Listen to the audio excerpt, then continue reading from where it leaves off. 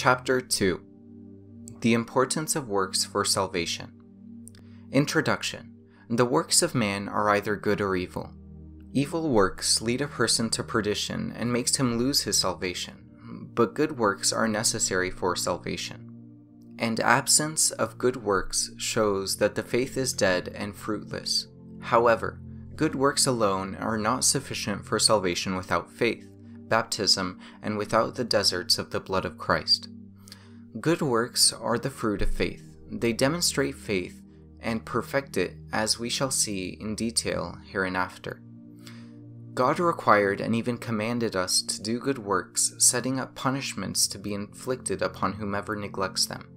Condemnation on the day of judgment will be according to one's works.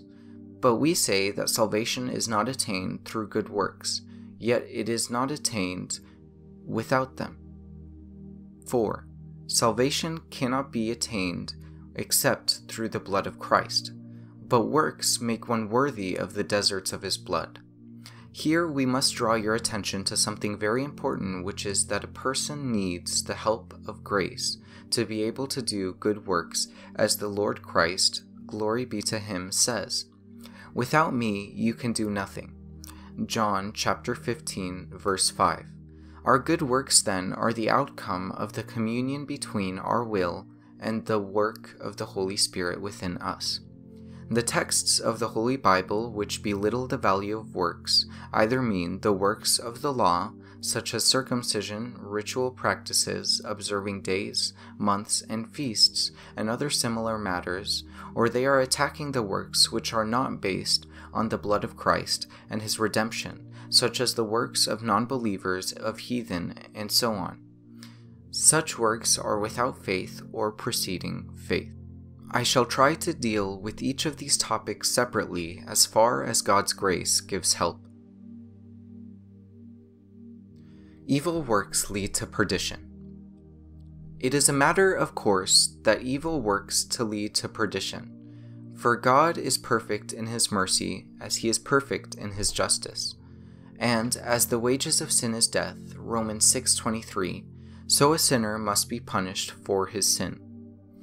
It is true that Christ died for us, but only the penitent would enjoy the deserts of the death of Christ.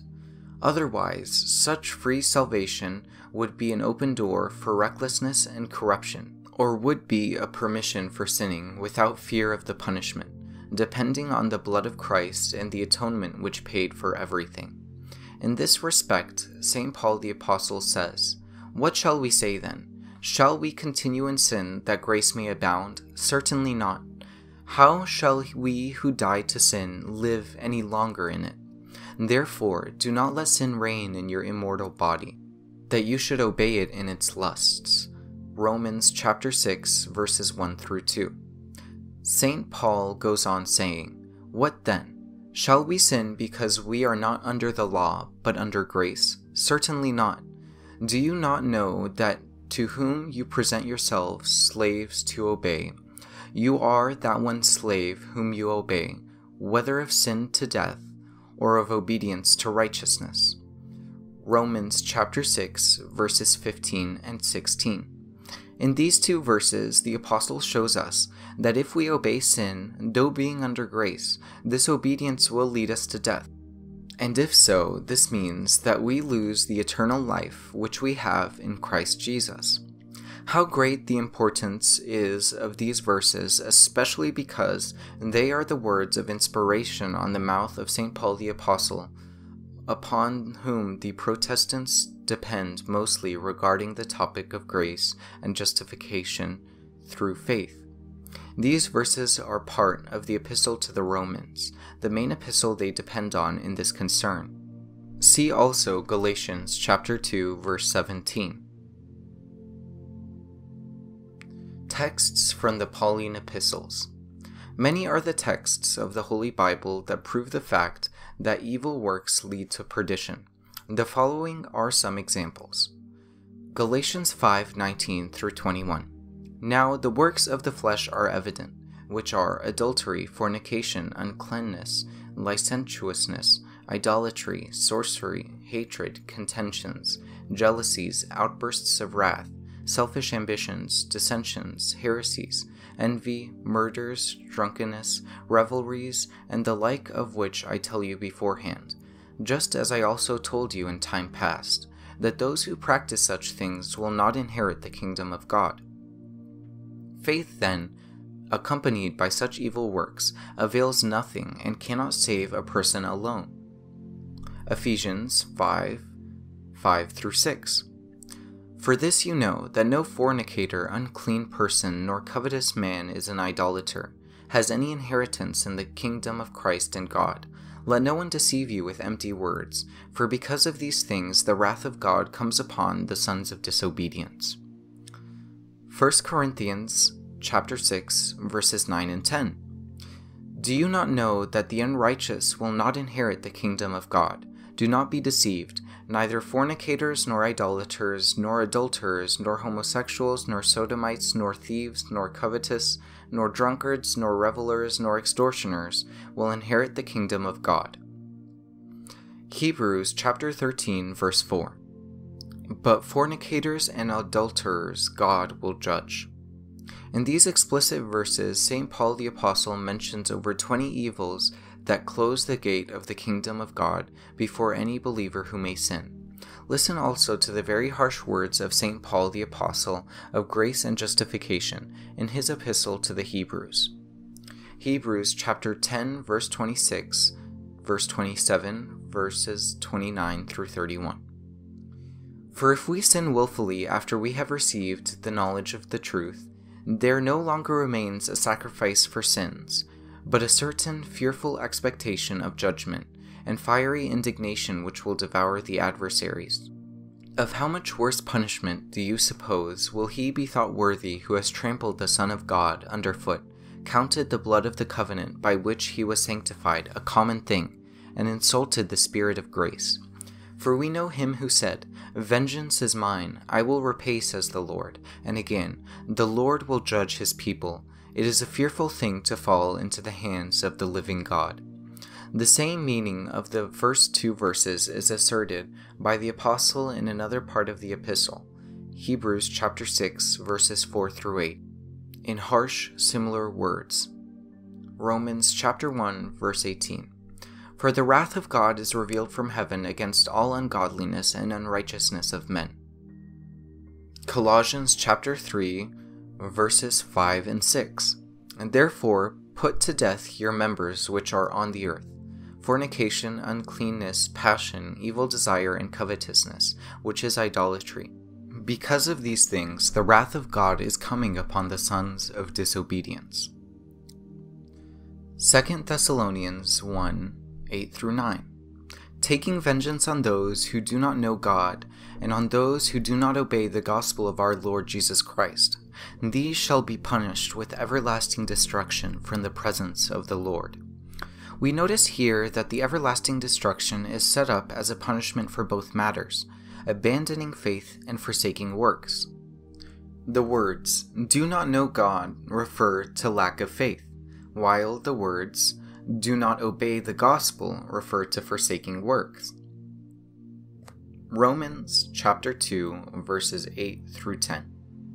But to those who are self-seeking and do not obey the truth, but obey unrighteousness, indignation and wrath, tribulation and anguish on every soul of man who does evil, of the Jew first and also the Greek, but glory, honor, and peace to everyone who works what is good to the Jew first and also to the Greek.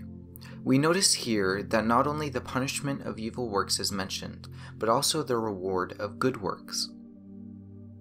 Comment These verses quoted above show the punishment of sin, how a believer may perish if he sins, how evil works prevent a sinner from inheriting the kingdom of God, how God's wrath fall on him, and how he becomes among the sons of disobedience, how he is subject to fearful judgment and fiery indignation which may devour him.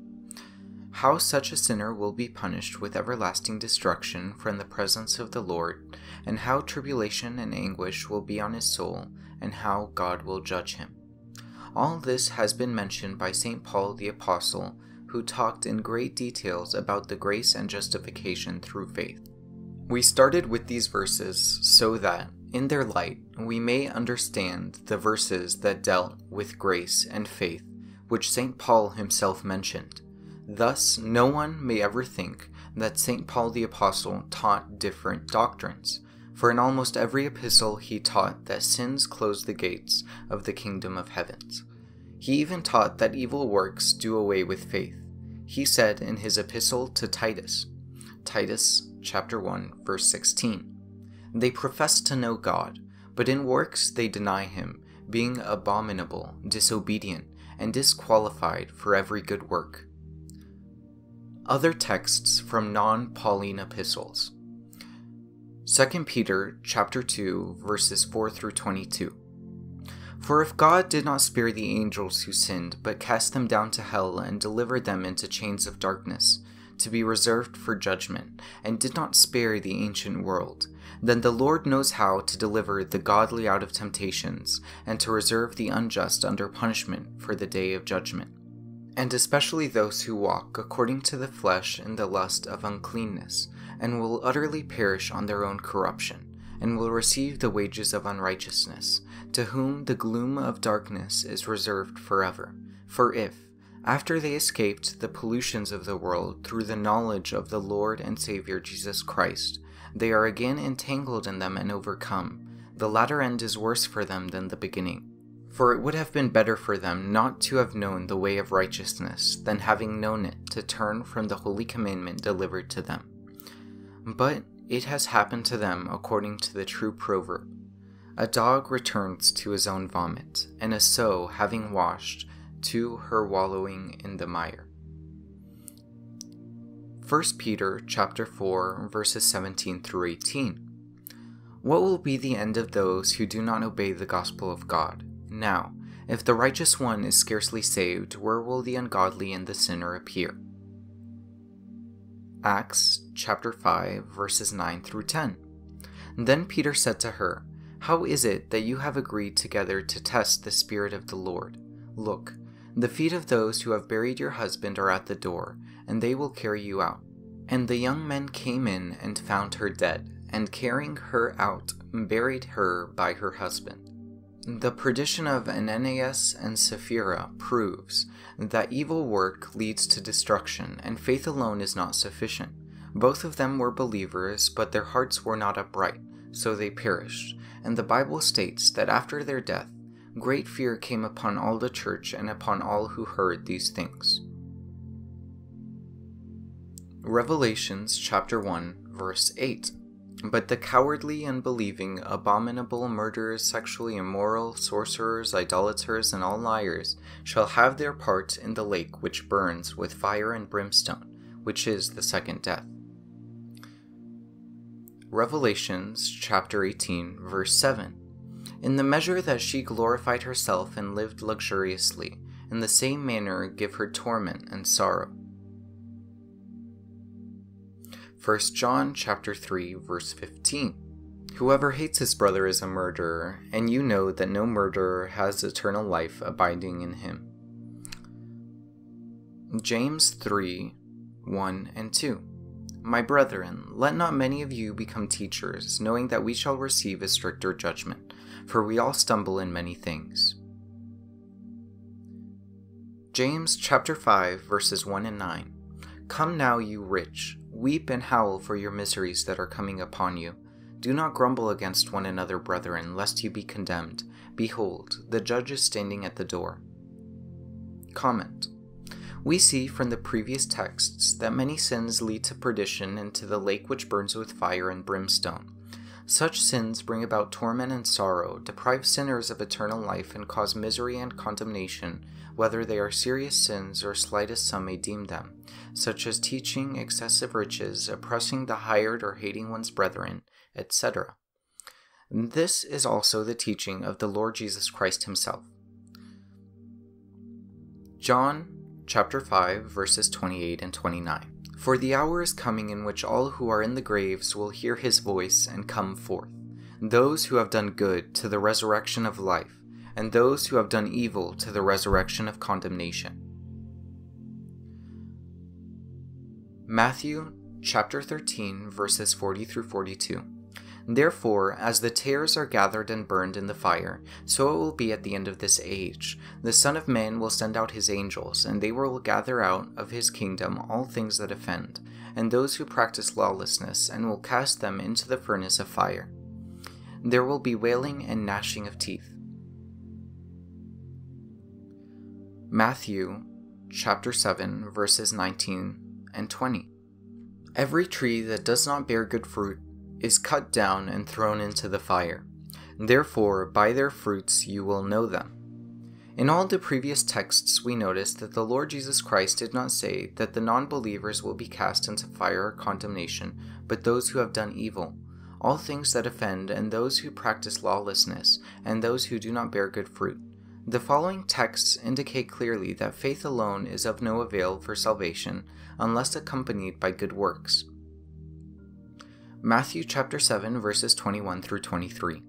Not everyone who says to me, Lord, Lord, shall enter the kingdom of heaven, but he who does the will of my Father in heaven.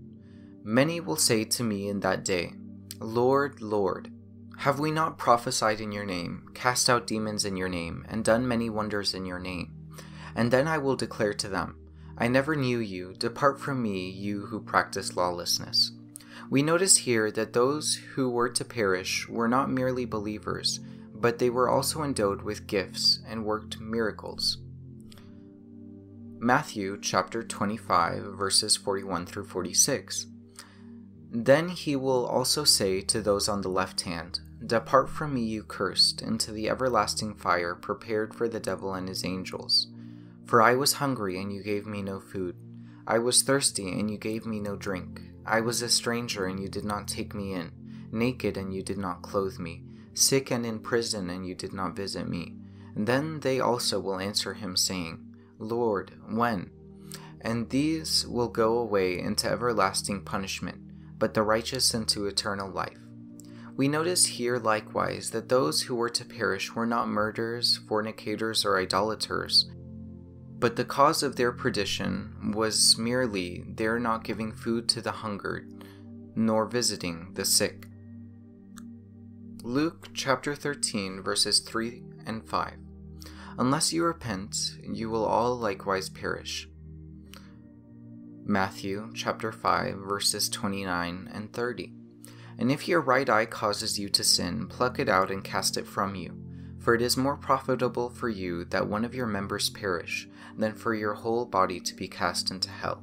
And if your right hand causes you to sin, here, the lack of faith is not the cause for casting into hell, but just one sin of the flesh, such as the lust of the eyes, which lead to adultery, or to theft, for example. Luke chapter 13, verses 24 through 28. Strive to enter through the narrow gate, for many, I say to you, seek to enter and will not be able. When once the master of the house has risen up and shut the door, and you begin to stand outside and knock at the door, saying, Lord, Lord, open for us, and he will answer and say to you, I do not know you, where you are from. Depart from me, all you workers of iniquity. There will be weeping and gnashing of teeth. The Lord here is addressing believers who say to him, Lord, Lord. However, they were to perish because they were workers of iniquity. Matthew chapter 19, verse 24. It is easier for a camel to go through the eye of a needle than for a rich man to enter the kingdom of God. This shows that some people may lose the kingdom not because they did not believe, but because of the dangers of wealth. Matthew chapter 29, verse 36. But I say to you that for every idle word men may speak, they will give an account of it in the day of judgment. For by your words you will be justified, and by your words you will be condemned. One's faith does not protect one against falling under condemnation due to one's words. This reminds us of the words of St. Basil the Great, who said, What would it benefit me if I did all righteousness, but said to my brother, You fool? For then I would be in danger of hellfire, as our Lord Jesus Christ said. But whoever says, You fool, shall be in danger of hellfire. Judgment. according to works. It is an obvious fact which shows the importance of works. In the Old Testament, David the psalmist says, Also to you, O Lord, belongs mercy, for you render to each according to his work. Psalm chapter 62, verse 12. And in the Ecclesiastes it is stated, For God brings every work into judgment, including every secret thing, whether it is good or whether it is evil. Ecclesiastes chapter 12, verse 14. In the New Testament, this fact is asserted by the Lord Jesus Christ and by his holy disciples. The Lord says, For the Son of Man will come in the glory of his Father with his angels, and then he will reward each according to his works. Matthew chapter 16, verse 27. He says also, For the Lord is coming, in which all who are in the graves will hear his voice, and come forth those who have done good to the resurrection of life, and those who have done evil to the resurrection of condemnation. John chapter 5 verses 28 through 29. Notice that he is speaking in this verse about works, those who have done good, those who have done evil. Condemnation is not for works only, but even for words, as the Lord says, For by your words you will be justified, and by your words you will be condemned. Matthew chapter 12 verse 36. This is obvious also in the revelation as the Lord sent to each of the seven angels of the churches saying, I know your works, Revelations chapter 2 verse 2. He also says expressly, And behold, I am coming quickly, and my reward is with me, to give to every one according to his work. Revelations chapter 22 verse 12. It is also said in the same book, Blessed are the dead who die in the Lord from now on. Yes, says the Spirit, that they may rest from their labors and their works follow them. Revelations chapter 14 verse 13. And the dead were judged according to their works, by the things which were written in the books. Revelations chapter 20 verse 12. The picture of judgment which the Lord revealed to us by his words to those on his right hand and the others on his left, is judgment according to works. For he said to those on his right hand, I was hungry, and you gave me food. I was thirsty, and you gave me drink. I was a stranger, and you took me in. Because of such good works, he said to them, Come, you blessed of my Father, inherit the kingdom prepared for you from the foundation of the world. Matthew chapter 25, verses 31 through 46. He did the same likewise concerning the evildoers. He judged them according to their works. A person then is apt to lose the kingdom if only his heart becomes void of mercy, and he does not give food to the hungry nor visit the sick. Whatever mercy he may have, and whatever vain confidence may fill his heart, would avail him nothing. How hard are the words of St. James the Apostle in this regard! He says, what does it profit my brethren if someone says he has faith but does not have works? Can faith save him? James chapter 2 verse 14. Judgment according to works is also a fact very frequently referred to by St. Paul the Apostle. He says, For we must all appear before the judgment seat of Christ, that each one may receive the things done in the body, according to what he has done, whether good or bad. 2 Corinthians chapter 5 verse 10, and also, but in accordance with your hardness and your impenitent heart, you are treasuring up for yourself wrath in the day of wrath, and revelation of the righteous judgment of God, who will render to each one according to his deeds. Romans chapter 2 verses 5 through 7. About the same topic, St. Paul the Apostle says, Whatever a man sows, that he will also reap. For he who sows to his flesh will of the flesh reap corruption but he who sows to the Spirit will of the Spirit reap everlasting life. Galatians chapter 6 verses 7 through 8. He says also, Each one's work will become manifest, for the day will declare it, because it will be revealed by fire, and the fire will test each one's work of what sort it is. 1 Corinthians chapter 3 verse 13 he says that everyone will have his reward according to his labor, not according to his faith or according to the work of grace. St. Peter the Apostle, also speaking about judgment according to works, says, The Father who without partiality judges, according to each one's work, conduct yourselves throughout the time of your sojourning here in fear. 1 Peter chapter 1 verse 17. Since works, whether good or evil, are so serious as to cause one's condemnation, would anyone dare belittle their value of importance?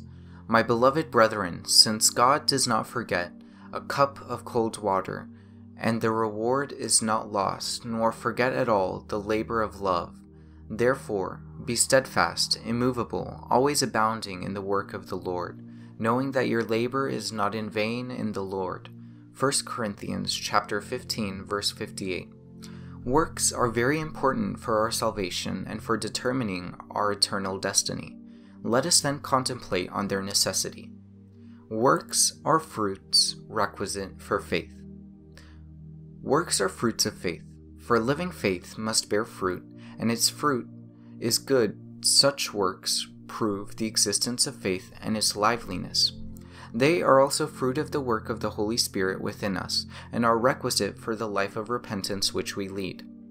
Does God require such works or such fruit? Yes, he does, and he emphasizes that. John the Baptist stood crying out to the multitudes, Bear fruits worthy of repentance, and do not begin to say to yourselves, We have Abraham as our father. Luke chapter 3 verse 8.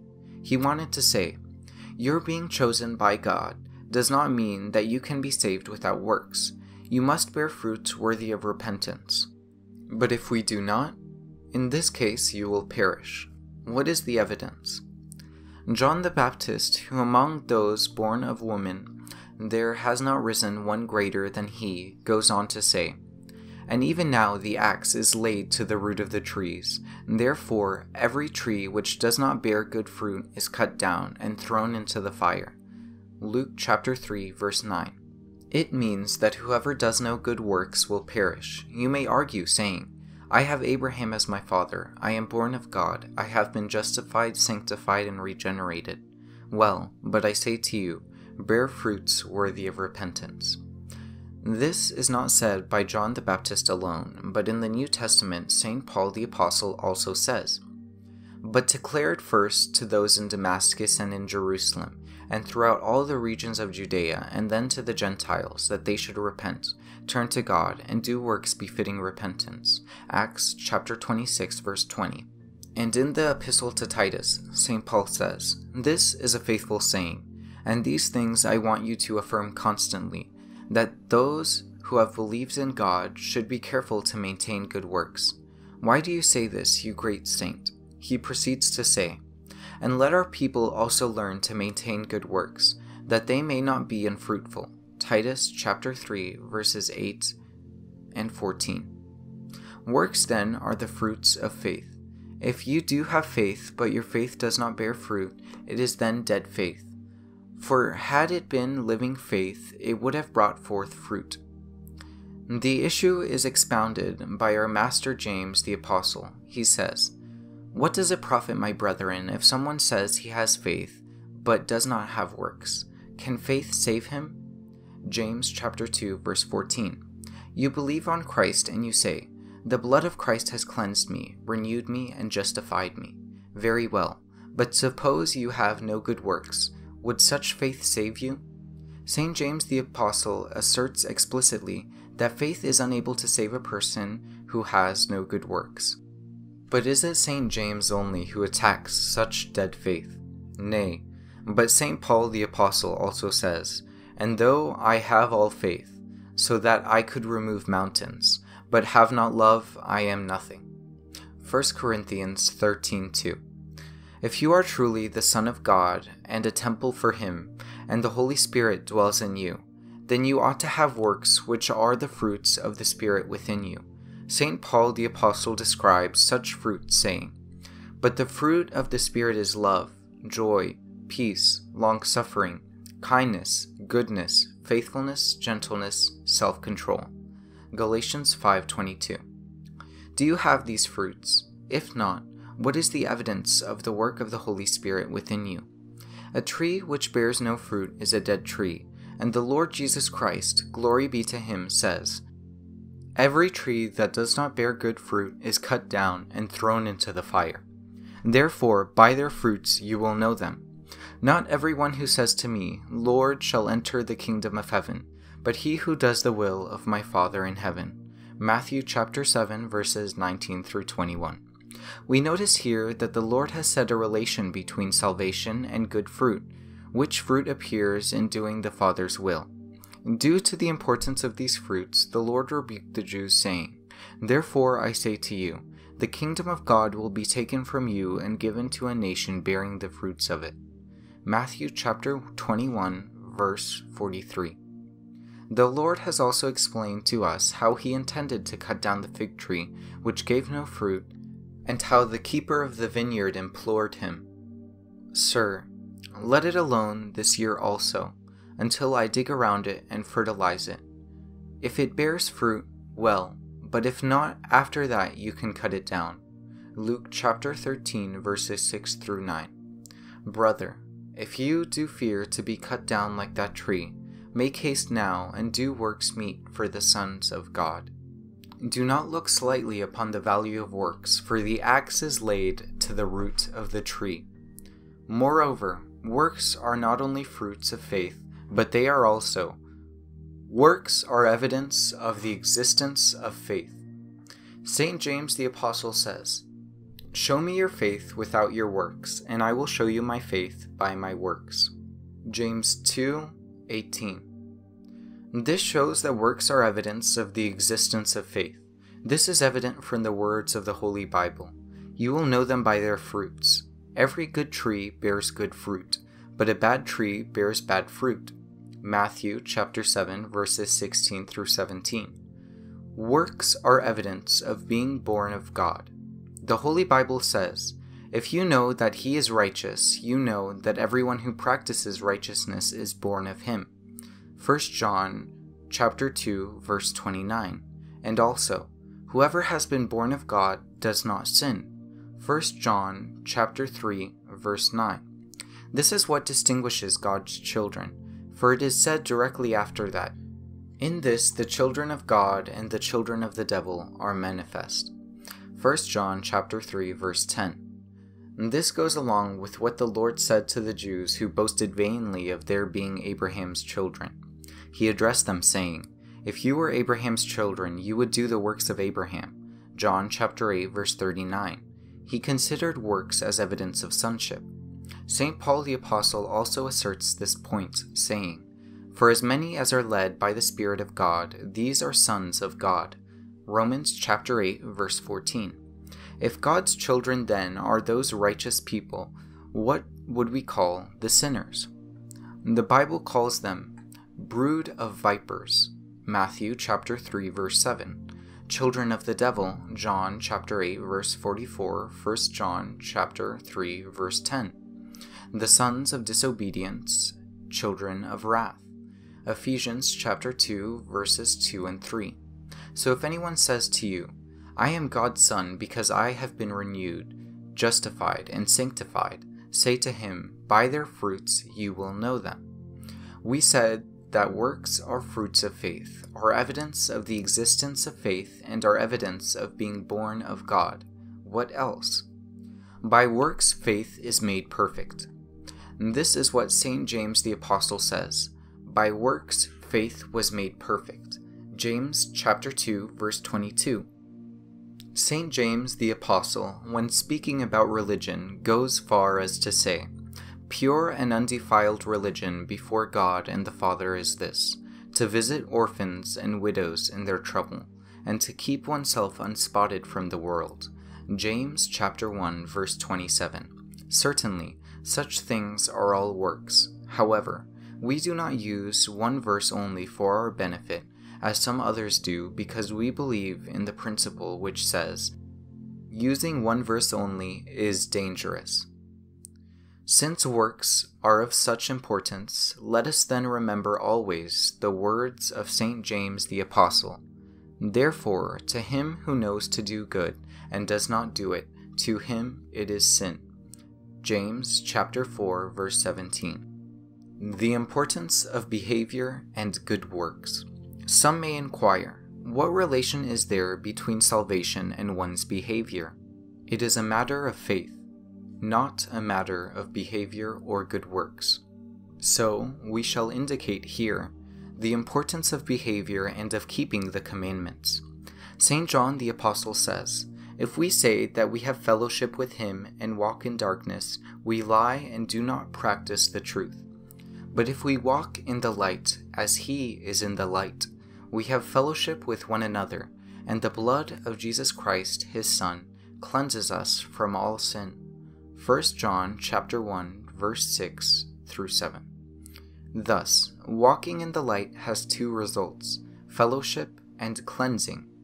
Walking in the light gives us fellowship with God and fellowship with each other, while walking in darkness hinders our fellowship with God.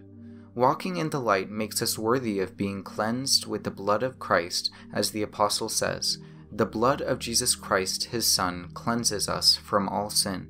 It depends on our walking in the light. So it is evident that the deserts of redemption and the cleansing with the blood of Christ requires our walking in the light.